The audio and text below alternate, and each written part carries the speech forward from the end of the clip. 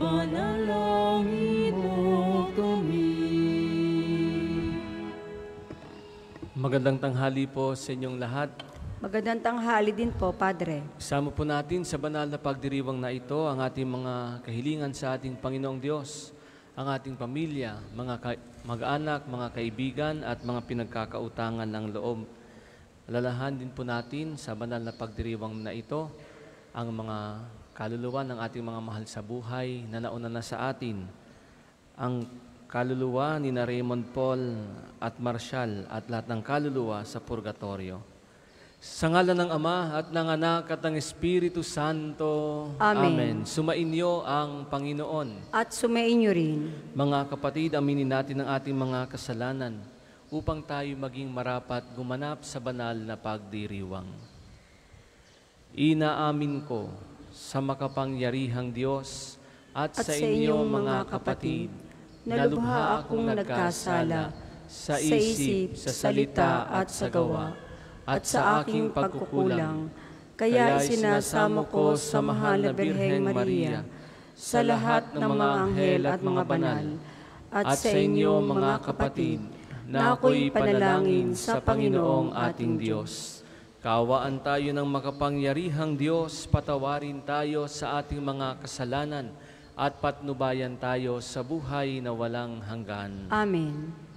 Panginoon, kaawaan mo kami. Panginoon, kaawaan mo kami.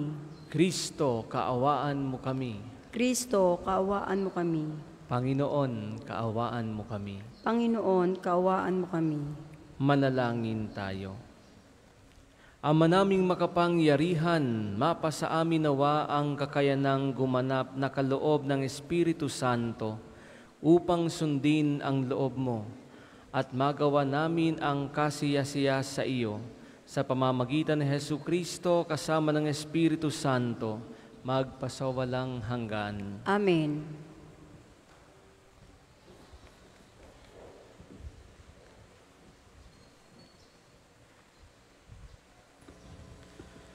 Pagbasa mula sa mga gawa ng mga apostol.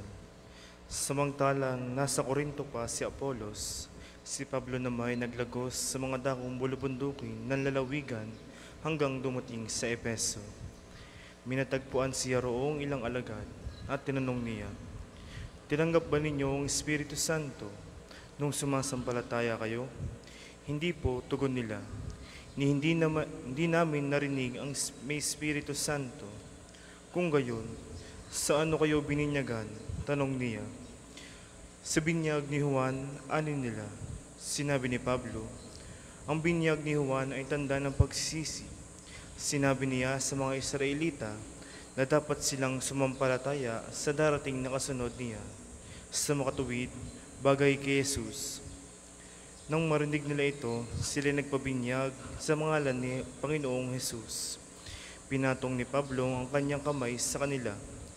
Bumaba sa kanila ang Espiritu Santo at sila'y nagsalita ng iba't ibang wika at nagpahayag ng salita ng Diyos. Sila'y humigit kumulang sa labing dalawang lalaki. Sa loob ng tatlong buwan, si Pablo'y pumasok sa sinagoga at nakikipagtalo sa mga naroon at buong tapa na pinapaliwanag sa kanila kung ano ang paghahari ng Diyos. Ang salita ng Diyos. Salamat sa Diyos. Salmong tugunan. Tanang mga kaharian, ang poong Diyos ay awitan. Tanang mga kaharian, ang poong Diyos ay awitan. O mag-alsa sana ang Diyos, ang kaaway, pakalatin, at ang mga namumuhi tumakas sa kanyang piling. Kung paanong yaong ulap, tinangay noong hangin, gayon sila itataboy, gayon sila papaalisin. At kung paanong yaong pagkit sa apoy ay natutunaw, sa harap ng, po, ng Panginoon ang masama ay papanaw. Tanang mga kaharian, ang poong Diyos ay awitan. Ang lahat ay nagagalak, natutuwa ang matuwid. Sa harapan nitong Diyos, galak nila hindi malirip. Awitan ng Panginoon, purihin ang kanyang ngalan. Ang pangalan niyang banal, magalak na papurihan. Tanang mga kaharian, ang poong Diyos ay awitan. Ang Diyos na naroon sa tahanan niyang templo, tumingin sa ulilat, sanggalang ng mga balo. May tahanan siyang laan sa sinumang nalulungkot. Ang bilanggo'y nahango upang sila ay malugod. Tanang mga kaharian, ang poong Diyos ay awitan. Magsitayo po ang lahat.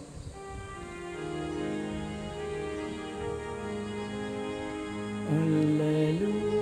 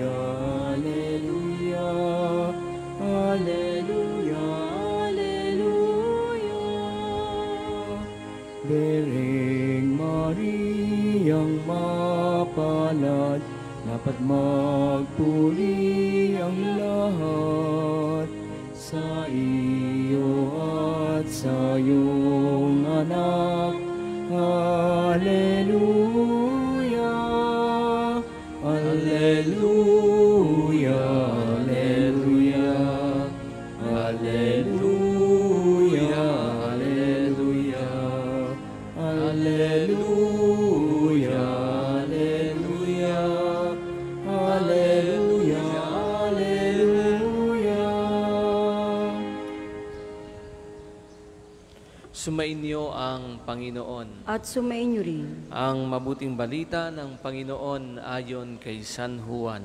Papuri sa iyo, Panginoon. Noong panahong iyon, sinabi ng mga alagad kay Jesus, Ngayon po'y tuwira na ang inyong pangungusap sa amin at hindi na patalinghaga. Alam na naming batidin niyo ang lahat ng bagay at hindi na kailangang tanungin ninuman. Dahil dito, naniniwala kaming kayo'y mula sa Diyos. Sumagot si Jesus, Naniniwala na ba kayo ngayon? Darating ang oras at ngayon na nga na magkakawatak-watak kayo, magkakakanya, magkakanya-kanya kayong lakad at iiwan ninyo ako. Gayon, gayon may hindi ako nag-iisa sapagkat kasama ko ang Ama. Sinabi ko ito sa inyo upang kayo'y magkaroon ng kapayapaan sa pakikipag-isa sa akin. Mayroon kayong kapighatian dito sa sanlibutan. Ngunit laksan ninyo ang inyong loob. Napagtagumpayan ko na ang sanlibutan. Ang mabuting balita ng Panginoon. Pinupuri ka namin, Panginoong Heso Kristo. Magandang tanghali pong muli sa inyong lahat. Welcome po sa Parish National Shrine of St. Padre Pio. Mga minamahal ko mga kapatid, tinatanong tayo ngayon ng ating Panginoon kung tayo ba ay naniniwala sa Kanya. Kung tayo ay totoong naniniwala sa Kanya, handa ba tayong sumunod sa Kanya at iwan natin ang lahat para sa Kanya. Hindi lamang yung mga kaya nating iwanan, kundi iwanan ang lahat para sa Panginoon. Hanggang saan ba natin kayang manindigan at manatiling tapat para sa ating pananampalataya? Madaling maging katoliko, pero hindi madaling isabuhay ang pananampalatayang katolika sapagkat kailangan talaga ang commitment. Kaya nga may mga kapatid tayo sa pananampalataya na mabilis makumbinsi ng ibang sekta at mabilis maniwala sa mga kasinungalingan laban sa simbahan dahil kulang ang kanilang kaalaman. Hindi nila kayang ipagtanggol ang ating pananampalataya. Takot sila sa sasabihin at iisipin sa kanila ng iba bilang mga katoliko. Kaya marami sa ating mananampalataya ang mga takot at duwag na katoliko. Ang tunay na mananampalataya ay handang magsakripisyo at handang magbago para sa Panginoon. Handang bitawan o talikuran ang lahat ng mga bagay na makamundo at mga bagay na maghihiwala sa, maghihiwalay sa atin sa Diyos. Ang isang tunay na mananampalaya, mananampalataya ay handang mag-take ng risks para sa kaharian ng Diyos sapagkat may mga pagkakataon talaga sa ating buhay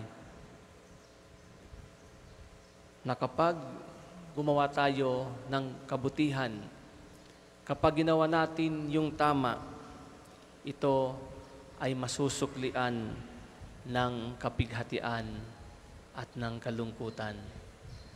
Ang paggawa ng kabutihan ay hindi nagdudulot lang mga kaibigan. Minsan, yung paggawa natin ng kabutihan ay naghihiwalay sa atin sa ibang tao. Nagdudulot din ito ng mga kaaway sa ating buhay. Ngunit huwag tayong mag-alala. Magkaroon nawa ng kapayapaan sa ating mga puso dahil sinabi sa atin ng ating Panginoong Hesus sa ating Ebanghelyo, mayroon kayong kapighatian dito sa sanlibutan. Ngunit laksan ninyo ang inyong loob. Napagtagumpayan ko na ang sanlibutan. Kaya kung may mga pagsubok man sa buhay, may mga problema, may mga karamdaman, maraming isipin, huwag tayong mawawala ng pag-asa. Mapuno nawa tayo ng pag-asa at kapayapaan sa ating mga puso. Huwag tayong matakot. Laksan natin ang ating loob dahil kasama natin palagi ang Diyos. Amen. Para po sa mga maghahandog ng sobre, pakihulog na lamang po sa buslo.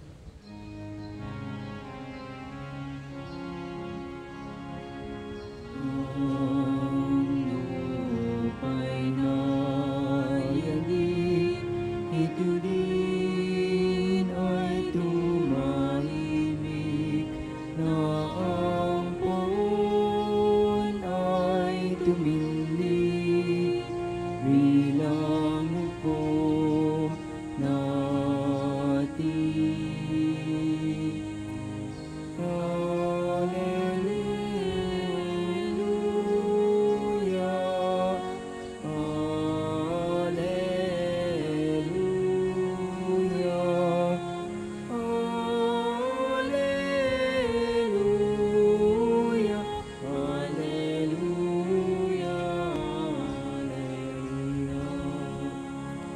Magsitayo po ang lahat.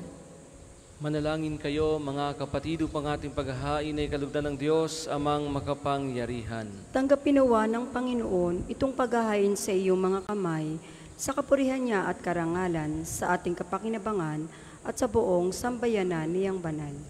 Ama naming lumikha kami naway, makapaghain ng ginanap ng anak mong giliw. Sa kapagpapatawad ng mga kasalanan namin at ang aming kalooban ay iyong palakasin. Sa pamamagitan ni Heso Kristo kasama ng Espiritu Santo, magpasawalang hanggan. Amen. Sumainyo ang Panginoon. At sumainyo rin. Itaas sa Diyos ang inyong puso at diwa. Itinaas na namin sa Panginoon. Pasalamatan natin ang Panginoong ating Diyos. Marapat na siya ay pasalamatan. Ama naming makapangyarihan, tunay ngang marapat na ikaw ay aming pasalamatan. Kasama at kamatayan matapos na lupigin ang anak mong si Jesus na Panginoon namin. Siya ngayon umakyat sa iyong piling bilang haring dakilang sinasamba ng mga anghel. Siya ang aming tagapamagitang nakikiusap sa iyo para sa tanan. Siya ang tagapasya sa lupa't kalangitan. Hindi niya ibinaksi ang aba naming pagkatao sa pagluklok sa kanan mo, sapagkat kami ang katawan at siya ang ulo. Ang pagakyat niya ay katiyakang sasapit kami sa iyo. Kaya kaisa ng mga anghel na nagsisiawit at papuri sa iyo nang walang humpay sa kalangitan, kami nagbubunyi sa iyong kadakilaan.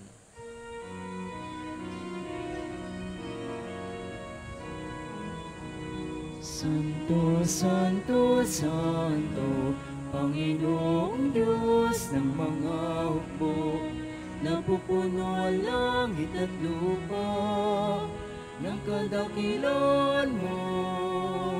Hosana, Hosana sa kaitaasan.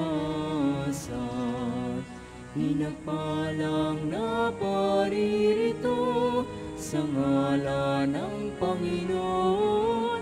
Hosana, Hosana sa kaitaasan.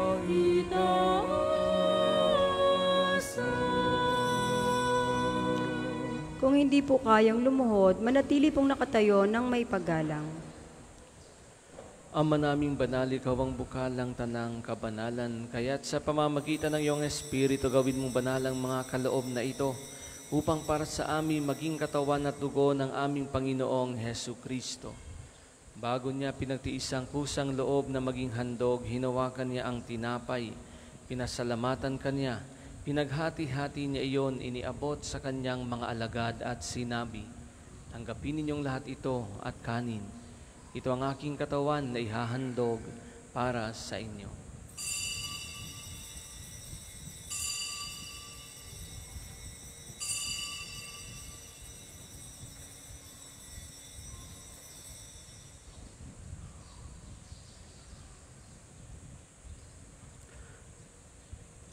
Gayun din naman, nung matapos ang hapunan, hinawakan niya ang kalis.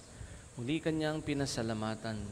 Iniabot niyang kalis sa kanyang mga alagad at sinabi, Tanggapin ninyong lahat ito at inumin. Ito ang kalis ng aking dugo ng bago at walang hanggang tipan. Ang aking dugo na ibubuhos para sa inyo at para sa lahat sa kapagpapatawad ng mga kasalanan. Gawin ninyo ito sa pag-alala sa akin.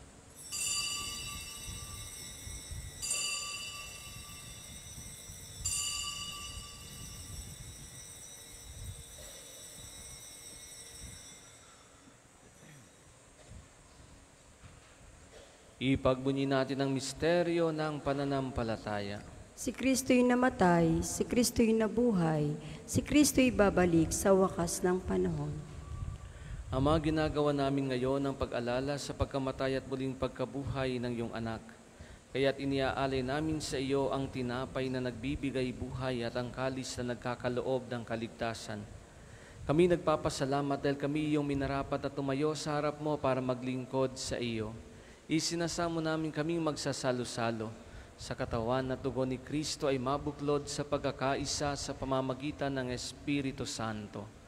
Ama, lingapin mo ang iyong simbahang laganap sa buong daigdig.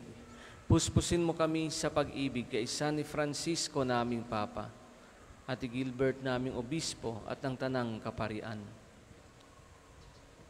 Alalahanin mo rin ang mga kapatid naming nahimlay na may pag-asang sila'y muling mabubuhay, gayon din ang lahat ng mga pumanaw. Kawan mo sila at patuloyin sa iyong kaliwanagan. Kawan mo at pagindapatin kaming lahat na makasalo sa iyong buhay na walang wakas. Haysa ng mahal na Birheng Maria na Ina ng Diyos. Ni San Jose na kanyang kalinis-ninisang esposo. Kaysa ng mga apostol at ang lahat ng mga banal na namuhay dito sa daigdig ng kalugod-lugod sa iyo. May pagdiwang nawa namin ng pagpupuri sa ikararangal mo sa pamamagitan ng iyong anak na aming Panginoong Heso Kristo. Sa pamamagitan ni Kristo, kasama niya at sa Kanya, ang lahat ng parangal at papuri ay sa iyo, Diyos, amang makapangyarihan, kasama ng Espiritu Santo, magpasawalang hanggan. Amen. Amen.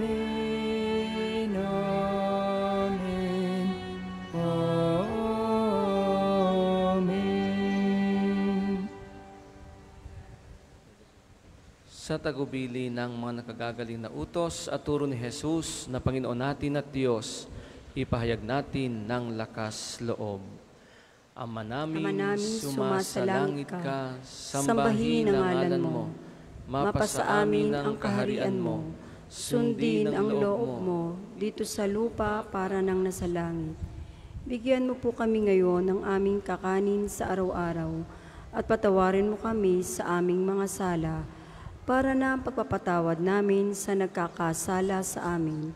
At huwag mo kaming ipahintulot sa tukso at ihadya mo kami sa lahat ng masama. Amen.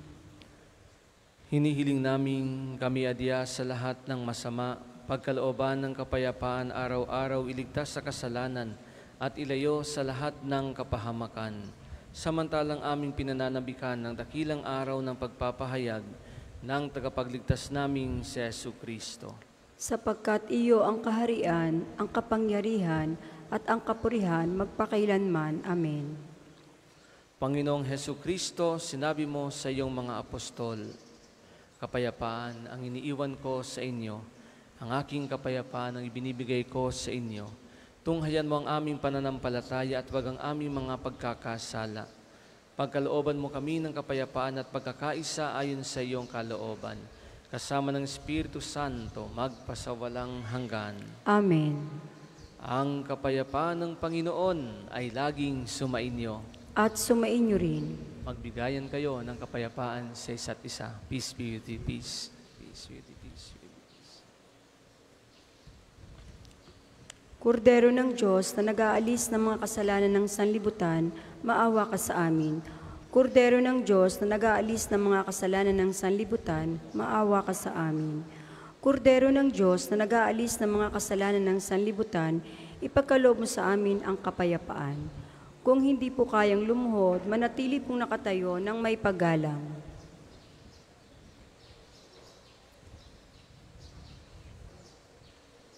Ito ang kordero ng Diyos, ito ang nag-aalis ng mga kasalanan ng sanlibutan. Mapalad ang manginaanyayahan sa kanyang piging.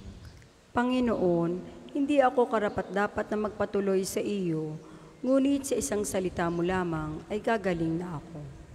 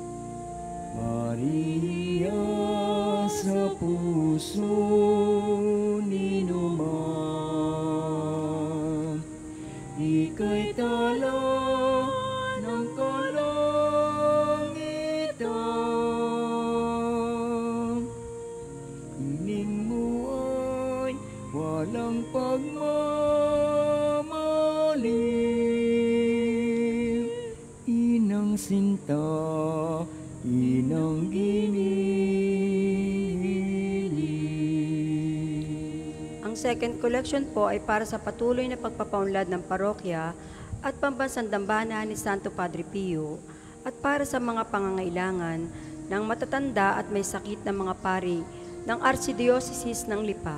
Salamat po sa inyong handog. Maria sa puso ni Numan, ika'y tala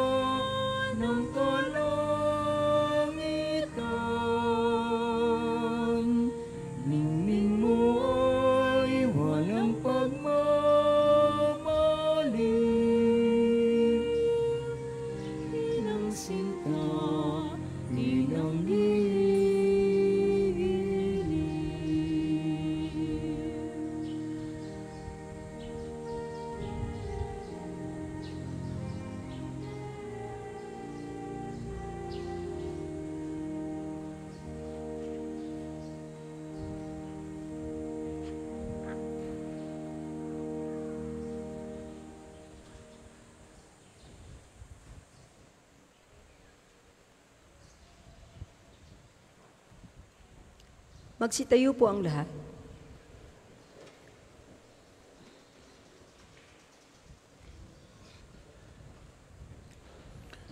Manalangin tayo.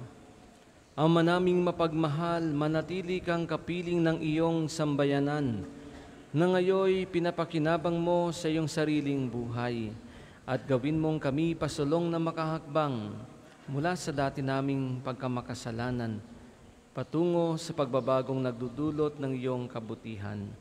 Sa pamamagitan ni Heso Kristo kasama ng Espiritu Santo, magpasawalang hanggan. Amen. Panalangin na pagtitiwala kay Santo Padre Pio, tayo pong lahat. Padre Pio, taga Pietrelcina, mongheng banal, pintakasing santo ng milenyong kasalukuyan, gabay namin sa pagtahak sa landasing makalangit, takbuhan sa pangangailangan, huwara ng pagtitiis. Sa iyo namin inilalapit aming mga kagipitan, sa iyo po ibinibilin kalusugan at kabuhayan.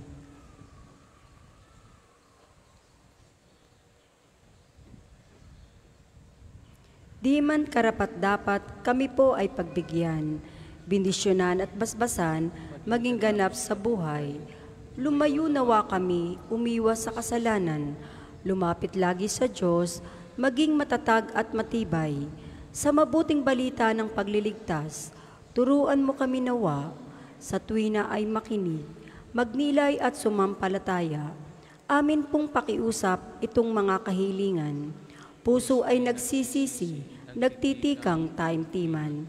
Di na muling magkasala, sunod lagi sa Diyos Amang, kaysa ng Espiritu at ni Jesus na tagapamagitan. Amen. Ang lahat po ay magsuupo para sa ilang patalastas. Una, sa inyong pagdalaw sa pambasang dambana, mangyaring pakaingatan ng iyong mga personal na gamit. Hangad namin ang isang matiwasay at maayos na pagbisita sa National Shrine. Ikalawa, sa pagnanais nating palawakin ang documentation at datos ng mga pilgrims and devotees na bumibisita sa pambansang dambana, kami po ay nag-aanyaya sa inyong lahat na makilahok sa ginagawang pagkalap ng impormasyon na makakatulong sa pagpapaunlad ng ating turismong pangsimbahan. Makikisuyo po kami na paki-scan ng QR code na inyong makikita sa paligid ng simbahan at pakikumpleto ng mga impormasyong kinakailangan. Makakaasa po kayo na sa aming pag-iingat ng private information na inyong ibabahagi bilang pagsunod sa batas ng Data Privacy Act of 2012. Ang inyong pakikisa ay malaking tulong at susi sa pagdiriwang ng karawan ni Santo Padre Pio at sa pakikipagtulungan ng SALT o St. Thomas More Association of Lawyers for Transformation. Tayo po ay magkakaroon ng pre-legal consultations sa darating na May 19, araw ng linggo, sa Divine Mercy Sanctuary. Sa mga nagnanais kumonsulta, kayo po ay magpalista na sa opisina ng parokya.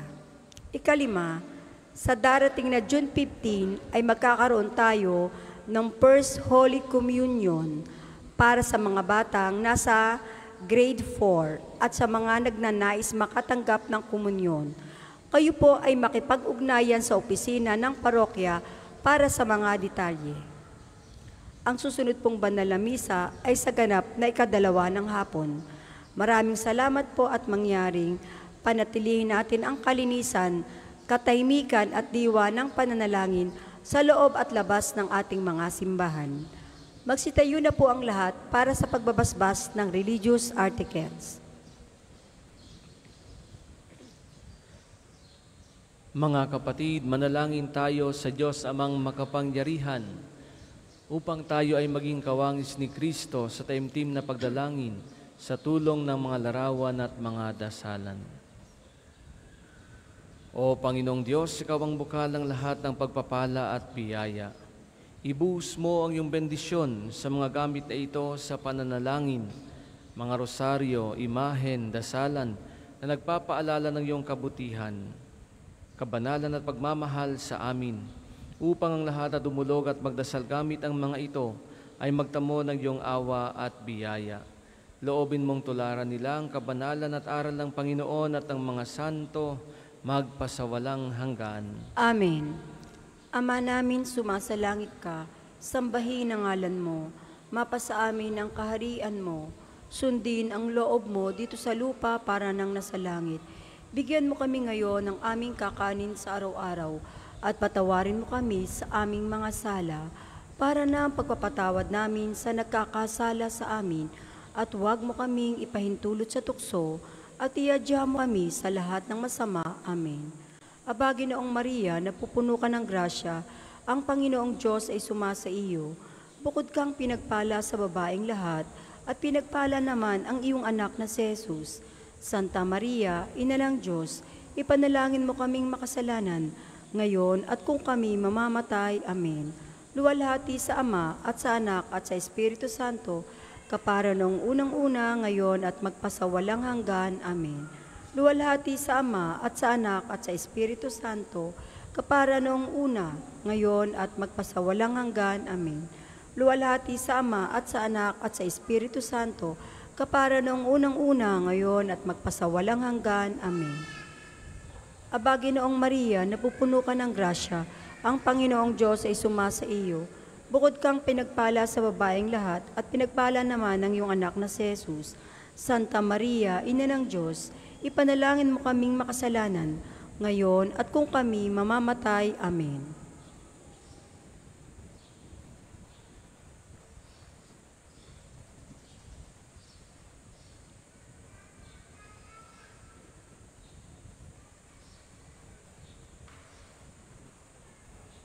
Sumainyo ang Panginoon At sumainyo rin. at pagpalain kayo ng makapangyarihang Diyos, Ama at Anak at Espiritu Santo. Amen.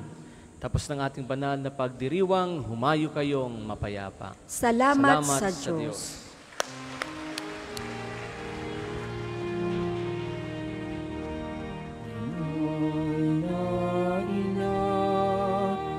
Dering sakdal ganda Reyna ng langit at lupa Ipanalangin